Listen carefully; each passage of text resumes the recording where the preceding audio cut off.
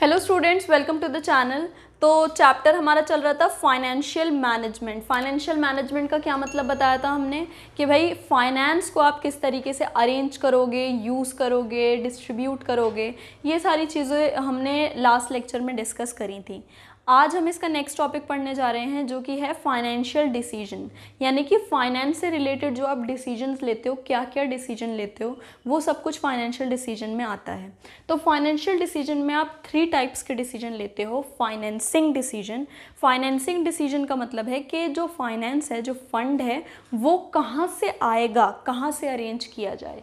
Second बात है investment decision कि अब जो फंड अरेंज हो गया है, जो पैसा आपके पास आ गया है, उसको आप कहाँ इन्वेस्ट करोगे? और फिर थर्ड चीज़ है डिविडेंड डिसीज़न यानी कि कि अब आपके पास जो रेसिडल इनकम बची है, आपके पास प्रॉफिट आ गया इनकम आ गई तो जो रेसिडल इनकम को आप किस तरीके से डिस्ट्रीब्यूट करोगे, उसका क्या ट्रीटमेंट करोगे? इस तरीके के डिफरेंट डिसीजंस लिए जाते हैं फाइनेंशियल डिसीज़न के अंदर। तो चलिए स्टार्ट करते हैं। फाइनेंसिंग डिसीज़न में दो तरीके के डिसीज़न है। फाइनेंसिंग डिसीज़न का क्या मतलब बताया कि पैसा कहाँ से आना है? तो दो तरीके हैं इसके डेट या इक्विटी डेट का मतलब क्या है? उधार, किसी से लोन ले लो। डिबेंचर इशू कर दो। डिबेंचर आपका डेट होता है कि नहीं होता है? तो लोन ले लो डिबेंचर इशू कर दो। तो या तो डेट उधार ले लो। या फिर इक्विटी इक्विटी यानी कि खुद का जो हो, जो खुद इक्विटी शेयर होल्डर्स ने पैसा लगाया हो, जो खुद ओनर्स का पैसा हो, ठीक है? तो या तो आप डेट से ले लो अरेंज कर लो फंड या फिर आपके पास अगर इक्विटी है तो तो बहुत ही अच्छी बात है, ठीक है? सेकेंड चीज़ है इन्वेस्टमेंट डिसीज़न इन्वेस्टमेंट डिसीज़न का मतलब है कि अब जो फंड आपका अरेंज हो गया, ये आपको कैसे यूटिलाइज़ करना है, कहाँ ये यूज़ होगा? तो कैपिटल बजटिंग में आप करेंगे। कैपिटल बजटिंग का क्या मतलब है कि आप एक साथ किसी कैपिटल इन्वेस्टमेंट में पैसा खर्च करने वाले हैं? जैसे कि आपने कोई लैंड ले ली बिल्डिंग ले ली नई कंपनी खुलवा दी या फिर आ, कोई कैपिटल एसेट ले लिया मशीनरी ले ली इस तरीके के आपको कोई कैपिटल बजटिंग करनी है या फिर आपको वर्किंग कैपिटल चलाना है यानी कि day to day day to day के जो खर्चे होते हैं वो आपको देखना है। तो आपको देखना है कि भाई जो फंड आ गया, उसको आप किस तरीके से यूज़ करोगे? कैपिटल बजटिंग में या फिर वर्किंग कैपिटल में?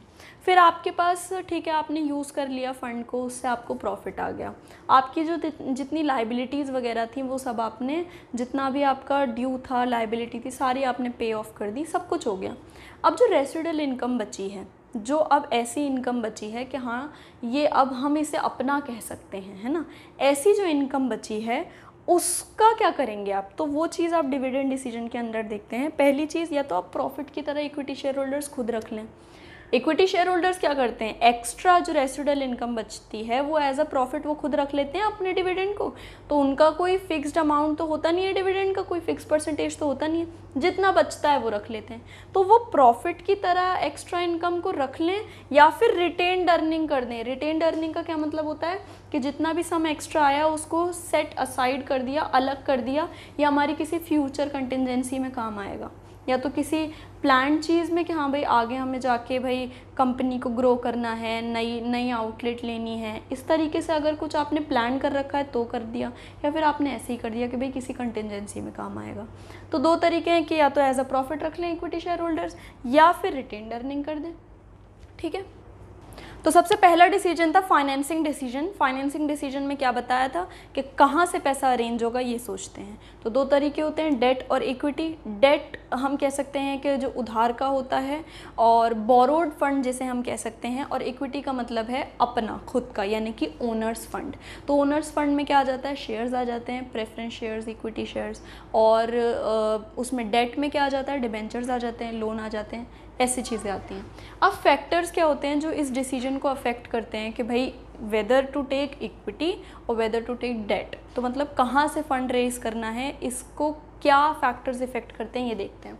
तो फ़र्स्ट इज़ कॉस्ट जिसकी कॉस्ट ज़्यादा होगी वो नहीं लेंगे, जिसकी कॉस्ट कम होगी वो लेंगे, ठीक है? तो कॉस्ट बहुत एक हैवी फैक्टर है कि किसको लेने में एक्वायर करने में ज़्यादा कॉस्ट लग रही है इंटरेस्ट कितना देना पड़ रहा है, क्या चीज़ है, सारी चीज़ें आप कंपेयर करेंगे तो जिसमें भी कॉस्ट कम लग रही होगी, वो आप ऑप्ट करेंगे। देन रिस्क रिस्क क्या होता है? बोरोड फंड में ना ज़्यादा रिस्क होता है कि इन केस अगर आपकी कंपनी की फाइनेंशियल पोजिशन उतनी साउंड नहीं रहती आगे जाके और आप वापस नहीं कर पाए तो क्या होगा? कि बहुत प्रॉब्लम्स आ जाएँगी, आपने कुछ मॉर्गेज पे रख रखा होगा तो वो चला जाएगा। इस तरीके से बहुत सारी चीज़ें हो सकती हैं। तो रिस्क जो रहता है वो बोरोड फंड में कंपैरेटिवली ज़्यादा रहता है और ओनर्स फंड में कंपैरेटिवली कम रहता है। देन कैश फ्लो पोजीशन अगर कंपनी कैश फ्लो पोजीशन का मतलब है कि कंपनी के अंदर कैश कितना आ रहा है और जा रहा है। तो कैश का जो फ्लो हो रहा है कंपनी में, वो कंपनी कैश फ्लो पोजीशन होती है। तो अगर ऑर्गेनाइजेशन में कैश फ्लो पोजीशन बहुत अच्छा है ठीक है? ज़्यादा से ज़्यादा पैसा आता है। बहुत अच्छा कैश फ्लो पोजीशन है। जो आ, जो कैश आ, कैश का इनफ्लो है वो बहुत ज़्यादा अच्छा है अगर। तो फिर क्या होता है कि आप तब बोरोड फंड ले सकते हो क्योंकि तब आप उसका इंटरेस्ट दे पाओगे। लेकिन अगर आप ने नहीं अगर आपकी कंपनी का कैश फ्लो पोजीशन उतनी अच्छी नहीं है तो फिर आप कैसे मतलब बोरोड फंड लोगे? क्योंकि आपको तो टाइमली इंटरेस्ट देना ही होता है। देना ही देना होता है ये तो आप पे कंपल्शन होता है। तो इनके इनकेस अगर आपका कैश फ्लो पोजीशन अच्छी नहीं है तो फिर आप बोरोड फंड को मत ऑप्ट करिए।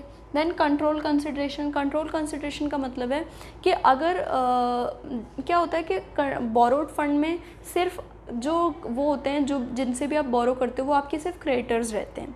ठीक है? लेकिन ओनर्स फंड में क्या होता है कि आप शेयर देते हो तो आप ओनरशिप राइट दे देते हो।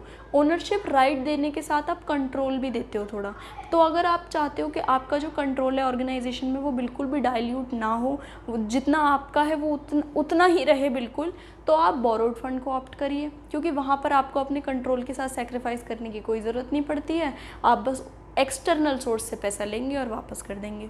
लेकिन इक्विटी अगर आप इक्विटी चूज़ करते हैं तो वहाँ पर आपको अपना कंट्रोल डाइल्यूट करना पड़ जाता है। नेक्स्ट है फ्लोटेशन कॉस्ट फ्लोटेशन कॉस्ट का मतलब होता है कि किसी भी डेट या इक्विटी या फिर जो भी चीज़ है, आप उसको अक्वायर करने के टाइम पर कितना आपको कॉस्ट पे करनी पड़ रही है। जैसे आपका भाई, आपका ब्रोकर होगा। ब्रोकर आपके शेयर्स बिकवाएगा, ये डिबेंचर बिकवाएगा तो उसका कमीशन तो ब्रोकरेज हो गया और अंडर राइटिंग कमीशन हो गया तो इस तरीके के डिफरेंट डिफरेंट कमीशन आपको अगर पे करने पड़ रहे हैं तो आप ये चेक करोगे कि किसमें वो कम करना पड़ रहा है। तो फ्लोटेशन कॉस्ट जिसमें भी कम आ रही हो, आप उस सोर्स को ऑप्ट करोगे। Then next is fixed operating cost fixed operating cost का मतलब है कि एक ऑर्गेनाइजेशन में जो फिक्स्ड कॉस्ट होती है ना कि भाई डे टू डे एक्सपेंसिस जो होते हैं, वो कितने हैं? अगर एक ऑर्गेनाइजेशन में फिक्स्ड ऑपरेटिंग कॉस्ट के भाई इतना खर्चा तो एक दिन में होना ही होना है, अगर वो बहुत ज़्यादा है तो फिर आप बोरोड फंड को ऑप्ट मत करिए, क्योंकि वहाँ पर आपको इंटरेस्ट बहुत रेगुलरली पे करना पड़ेगा और आप शायद इतना रेगुलरली इंटरेस्ट पे नहीं कर पाओगे, अगर आपकी flotation cost sorry operating cost बहुत हाई है तो। तो इसलिए उस टाइम पर आप इक्विटी की तरफ़ जाइए तो ज़्यादा बेटर है। Then state of capital market capital market की स्टेट क्या होती है कि कैपिटल मार्केट में क्या चल रहा है? अगर बूम पीरियड चल रहा है तो ज़्यादातर लोग आपके शेयर ख़रीदने को तैयार हो जाएँगे, राज़ी हो जाएँगे, क्योंकि तब लोग इन्वेस्टमेंट करना चाहते हैं, क्योंकि बूम पीरियड चल रहा है। तो तब तो आप अपने इक्विटी शेयर बहुत आसानी से बेच सकते हो। लेकिन अगर रिसेशन चल रहा है तो कोई भी भाई अपना पैसा रिस्क नहीं करना चाहता है, कोई भी अपना पैसा ना इन्वेस्ट ही नहीं करना चाहता। तो तब लोग डिवेंचर देने को, लेने को तो तैयार हो जाते हैं, लेकिन शेयर्स लेने को तैयार नहीं होते। तो रिसेशन के टाइम पे बोरोड फंड लेना एक तरीके से मजबूरी हो जाती है, और बूम पीरियड के टाइम पे तो आप इक्विटी फ़ंड ले सकते हो। ओनर्स फंड जो है, आप शेयर्स वगैरह इशू करके आप अपना फ़ंड अरेंज कर सकते हो। नेक्स्ट डिसीज़न है हमारा इन्वेस्टमेंट डिसीज़न इन्वेस्टमेंट डिसीज़न में क्या होता है कि अब जो हमने फ़ंड अरेंज कर लिया है ना, इस फंड को हम कहाँ यूटिलाइज़ करें, कहाँ इन्वेस्ट करें? तो अभी हमने थोड़ी देर पहले भी देखा कि हम दो तरीके से कर सकते हैं, या तो वर्किंग कैपिटल में कर सकते हैं, या कैपिटल बजटिंग में. कैपिटल बजटिंग क्या होती है कि कैपिटल एसेट्स खरीदना, यानी कि कैपिटल एक्सपेंडिचर इनकर करने को आप कैपिटल बजटिंग कह सकते हो. या फिर आप वर्किंग कैपिटल में खर्च करो, यानी कि आपकी ऑर्गेनाइजेशन की कुछ डे टू डे रिक्वायरमेंट्स होंगी तो आप उस तरीके से वर्किंग कैपिटल में खर्च कर सकते हो। तो अच्छा वर्किंग कैपिटल के बारे में बात करें तो वर्किंग कैपिटल क्या होता है कि आपके ऑर्गेनाइजेशन की डे टू डे रिक्वायरमेंट्स को मीट आउट करने के लिए जो आपको फ़ंड की ज़रूरत होती है, वो वर्किंग कैपिटल होता है। ठीक है? तो वर्किंग कैपिटल को निकालना कोई बहुत बड़ा इशू नहीं है। ये बस आपका करंट एसेट्स और करंट लाइबिलिटी के बीच का डिफरेंस होता है। करंट एसेट्स में से आप करंट लाइबिलिटी माइनस कर दीजिए और आपका वर्किंग कैपिटल आ जाएगा। तो इसमें हमें ना बहुत ज़्यादा डीप में कुछ नहीं पढ़ना था। इतना ज़्यादा डीप में पढ़ने के लिए इसमें कुछ है भी नहीं। इसलिए यहाँ पर इतनी प्रॉब्लम नहीं आती है डिसीज़न लेने में कि भाई वर्किंग कैपिटल में हम कहाँ खर्च करें, कैसे करें, कैसे डिसीज़न लें? क्योंकि भाई वो तो जितनी कॉस्ट वहाँ पर इनकर होनी है, उतनी होनी है। वो वाली बात एक अलग है। ज़्यादा जैसे सपोज़ करिए कि अगर आपका आपकी जो ऑर्गेनाइजेशन की पॉलिसी है, वो है क्रेडिट सेल की पॉलिसी है तो आपने सामान बेच दिया और पैसा आपको उसका बाद में आ रहा है। तब आपको ज़्यादा अपने पास वर्किंग कैपिटल रखना होगा। क्यों? क्योंकि आपने सामान बेच दिया, उसका पैसा बाद में आएगा।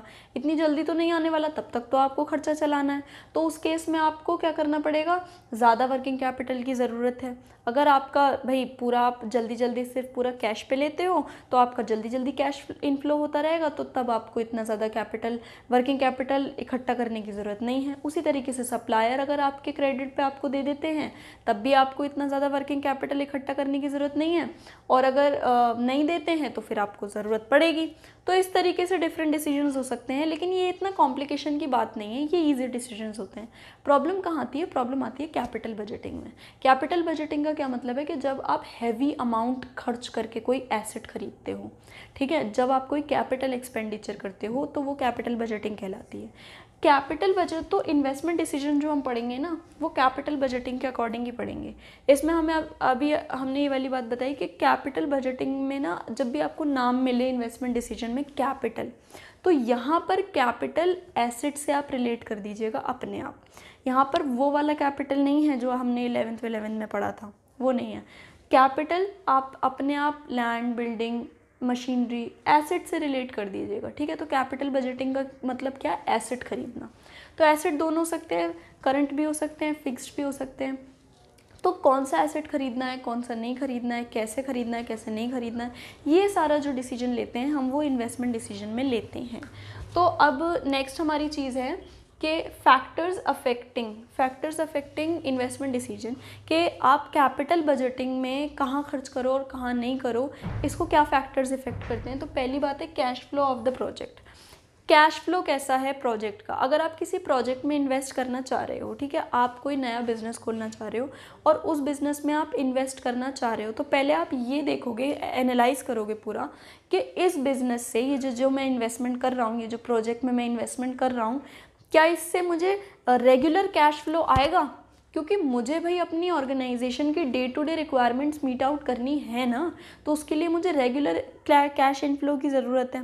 जब आप हैवी अमाउंट डाल रहे हो तो आप रिटर्न भी तो चाहोगे तो आप ये देखोगे कि कैश इनफ्लो कितना है। अगर बहुत अच्छा है तो तो बहुत सही है वहाँ पे इन्वेस्ट करना। अगर नहीं है तो फिर वहाँ पर इन्वेस्ट आप इतना ज़्यादा नहीं करिए, क्योंकि फिर आप अपनी डे टू डे रिक्वायरमेंट्स कैसे पूरी करोगे, अगर जल्दी जल्दी कैश इनफ्लो नहीं आएगा तो।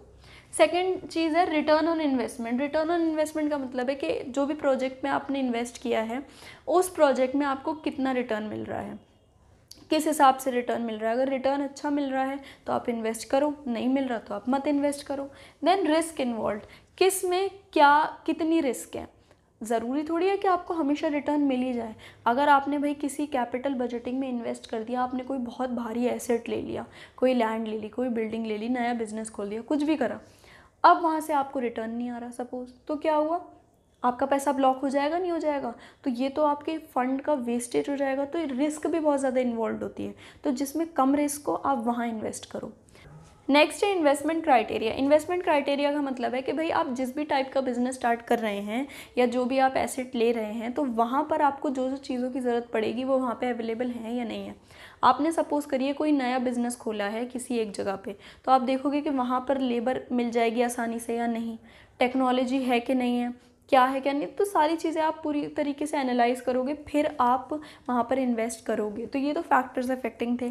दूसरी चीज़ है इम्पॉर्टेंस इंपॉर्टेंस का क्या मतलब है कि कैपिटल बजटिंग आप केयरफुली करो। क्यों करो? क्या इंपॉर्टेंस है कैपिटल बजटिंग की? जो आप कैपिटल बजटिंग केयरफुली करो इन्वेस्टमेंट डिसीज़न केयरफुली करो तो वो हम देखेंगे। तो first is long term growth capital budgeting या, फिर इन्वेस्टमेंट डिसीज़न से हमारी लॉन्ग टर्म ग्रोथ होती है। अगर कोई भी आप एसेट खरीदते हो तो वो आपको फ्यूचर में जाके बहुत प्रॉफिट देने वाला है। तो इससे क्या होगा कि आपकी ग्रोथ होगी। तो इसीलिए आप आज जो भी डिसीज़न करोगे वो आपका फ्यूचर डिसाइड करेगा। इसीलिए आपको बहुत ज़्यादा केयरफुली डिसीज़न लेना है। Then use fund involve. तो कैपिटल बजटिंग में यूज़ फंड होता है यूज़ फंड इन्वॉल्व होता है। तो जहाँ भी इतना सारा पैसा इन्वॉल्व है, क्या आप वहाँ पर रिस्क लेना चाहोगे? क्या आप वहाँ पे ऐसा कुछ करोगे जो मतलब आगे जाके फेल हो जाए या कुछ हो जाए? तो इसीलिए आपको बहुत केयरफुली डिसीज़न लेना होता है, इन्वेस्टमेंट डिसीज़न, ताकि इसमें बहुत ज़्यादा यूथ फंड इन्वॉल्व होता है, वो ख़राब ना हो। Then risk involve. रिस्क बहुत ज़्यादा, जितना बड़ा प्रोजेक्ट उतनी रिस्क, जितना यूज़ इन्वेस्टमेंट उतनी रिस्क। कि भाई कल को इससे उतना रिटर्न आया या नहीं आया तो देन इरिवर्सिबल डिसीज़न इरिवर्सिबल यानी कि एक बार आप एसेट खरीद लेते हो, किसी चीज़ में इन्वेस्ट कर देते हो तो वो उतनी आसानी से आप वापस नहीं कर सकते। आप सोचो कि अगर मैंने एक एसेट खरीद लिया, अब मैं इसे बेच दूँ। तो फिर ये सब क्या है कि आप डिसीज़न अगर रिवर्स करना चाह जाओगे अगर, बाद में आपको पता चला कि हाँ भाई यहाँ से तो इतना प्रॉफिट नहीं हो रहा तो मैं डिसीज़न रिवर्स कर दूँ। तो इस तरीके की अगर आप चीज़ें करने जाओगे तो कुछ नहीं है अल्टीमेटली आप ही को नुकसान है, इससे वेस्टेज ऑफ़ रिसोर्सेज होगा और बहुत पैसों का नुकसान होगा। इसलिए इरिवर्सिबल डिसीज़न होते हैं, इतनी ईजीली रिवर्स नहीं हो जाते हैं ये decision third and last type of decision है हमारा डिविडेंड डिसीज़न डिविडेंड डिसीज़न में क्या होता है कि जो हमारी प्रॉफिट अब अर्न हुआ ना, उस प्रॉफिट को आप किस तरीके से डिस्ट्रीब्यूट करोगे? आप उसको एज अ प्रॉफिट खुद रख लोगे, यानी कि डिविडेंड की तरह दे दोगे शेयर होल्डर्स को, या फिर आप सेट असाइड कर दोगे कुछ अमाउंट फ्यूचर कंटिजेंसी को मीट आउट करने के लिए, जिसको आप रिटेन अर्निंग कहते हो कि हो सकता है आपका आगे कोई प्रोजेक्ट आ रहा हो, आपको आगे किसी कैपिटल इन्वेस्टमेंट की ज़रूरत हो तो इसलिए आप रिटेन अर्निंग अलग कर सकते हो, या या फिर आप आ, उस प्रॉफिट को एज अ डिविडेंड बांट सकते हो। तो आ, भाई प्रॉफिट मतलब एज अ डिविडेंड बांटें प्रॉफिट को या फिर रिटेन अर्निंग कर लें। क्या करें? अगर डिविडेंड दे रहे हैं तो हाई रेट रखें डिविडेंड का या लो रेट रखें। इसको ये फैक्टर्स इफ़ेक्ट करते हैं। तो first factor is earning earning का मतलब होता है कि अगर आप ज़्यादा कमा रहे हो आपकी ऑर्गेनाइजेशन की ज़्यादा अर्निंग है तो आप हाई रेट ऑफ़ डिविडेंड दे सकते हो। लेकिन आपकी ऑर्गेनाइजेशन की अर्निंग अगर उतनी है ही नहीं तो फिर आप लो रेट ऑफ़ डिविडेंड देते हो। Then stability of earning stability of earning का मतलब है कि आपको पता हो कि हाँ भाई आपका जो uh, प्रॉफिट है, जो इनकम है, वो अच्छी खासी आ ही जाएगी। तब तो आप कोई high rate of dividend declare करो। अगर आपको पता ही नहीं है, अगर आपको श्योरिटी है ही नहीं कि अगले साल तक आपका अच्छा अमाउंट आ जाएगा अच्छा प्रॉफिट आ जाएगा तो आप डिक्लेयर कैसे करोगे?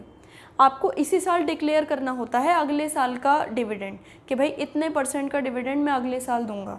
तो अगले साल उतनी अर्निंग होनी चाहिए ना उस डिविडेंड को देने के लिए। अगर उतनी अर्निंग नहीं हो पाई तो फिर तो आप डिक्लेयर ही नहीं कर पाओगे इस तरीके से।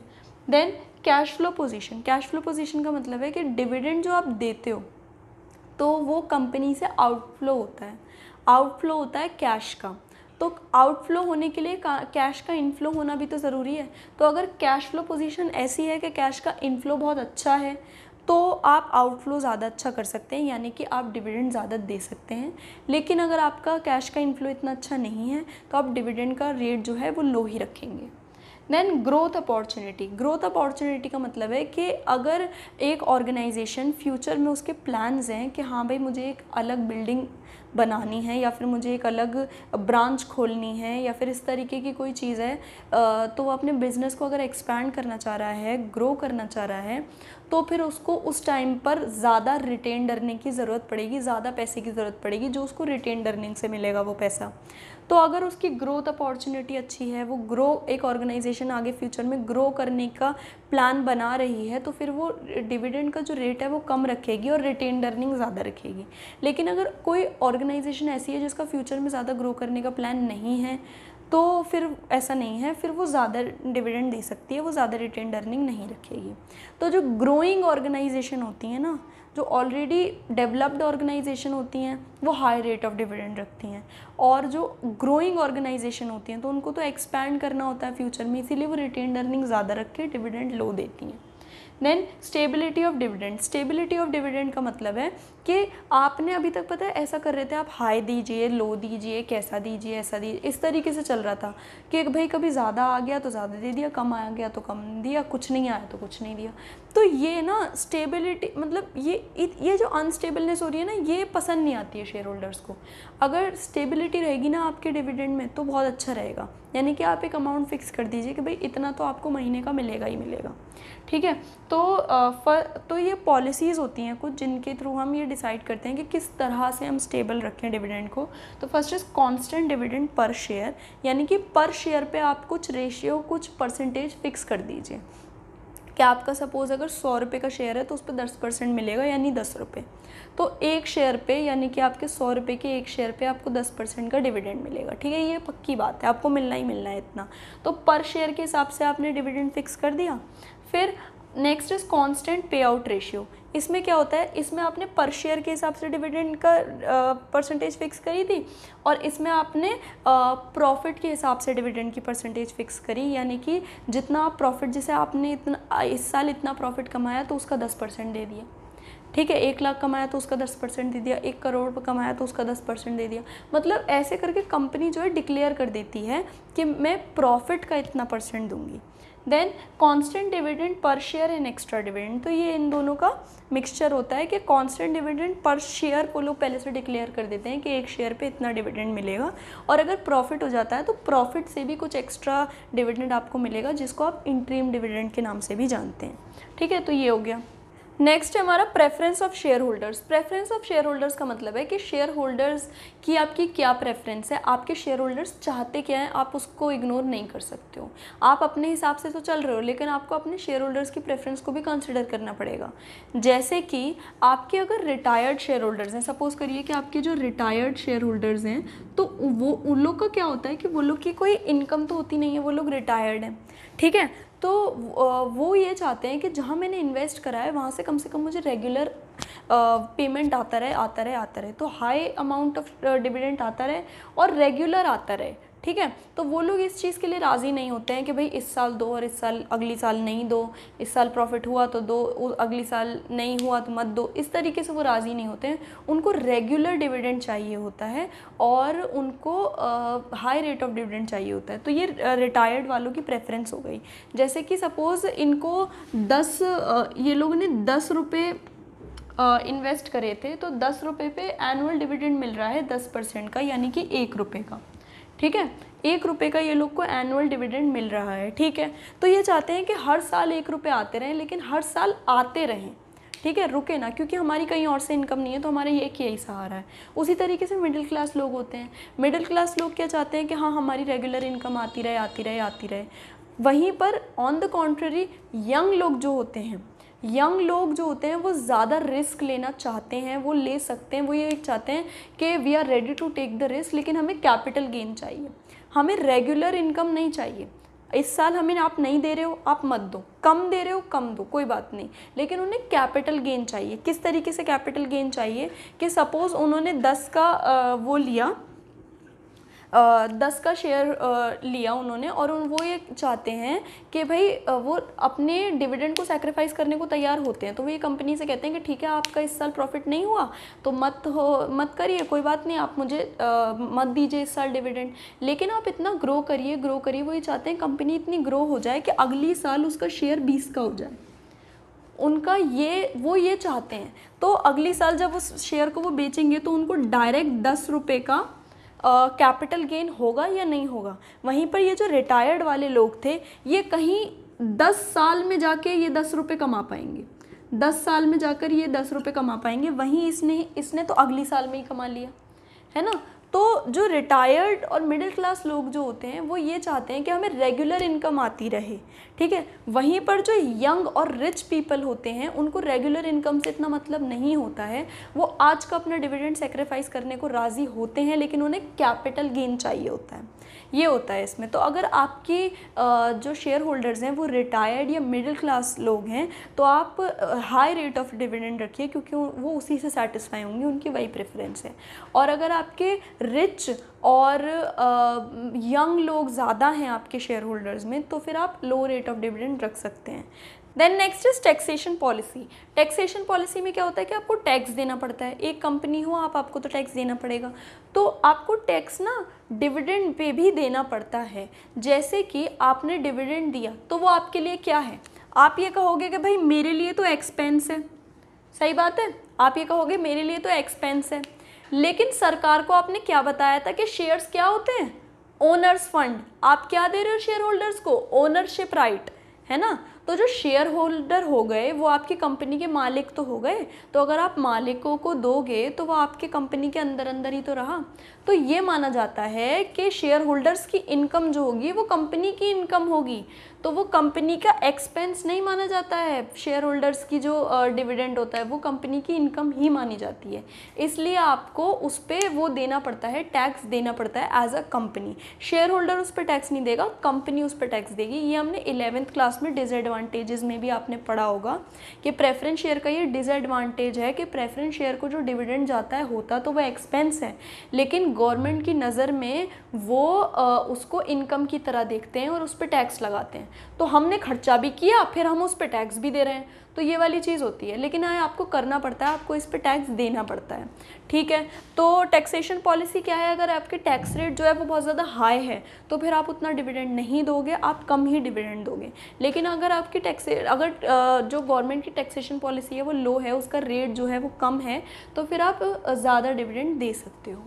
Next is access to capital market consideration access to capital market consideration का मतलब है कि एक कंपनी जो है वो रिटेन अर्निंग से फंड अरेंज कर सकती है, या फिर वो कर सकती है शेयर्स इशू करके शेयर्स या डिबेंचर्स इशू करके अगर वो ये चाहे कि मैं शेयर और डिबेंचर इशू करूँ तो उसकी अगर कंपनी की अच्छी रेपुटेशन है, तभी तो उसके शेयर और डिबेंचर बिकेंगे। अगर कंपनी की अच्छी रेपुटेशन नहीं है तो नहीं बिकेंगे ना।